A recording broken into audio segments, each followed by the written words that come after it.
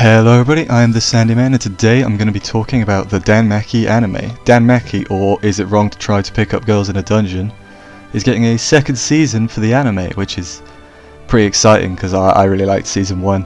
Uh, Sword Oratoria or Rararia was pretty uh, not good in my opinion though, so...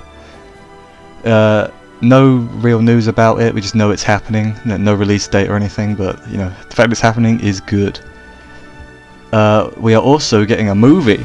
The film is called DanMachi Arrow of the Orion. And uh, there's a sweet visual which is going to be on the screen like now. But uh, once again, we don't know too much information about it, but just that it's happening. The film will have an original story written by the original author of the books, so that's good. But uh, yeah, that's all the information I've got for you right now. Make sure you subscribe for more news as it becomes available and other good stuff. So uh, bye bye.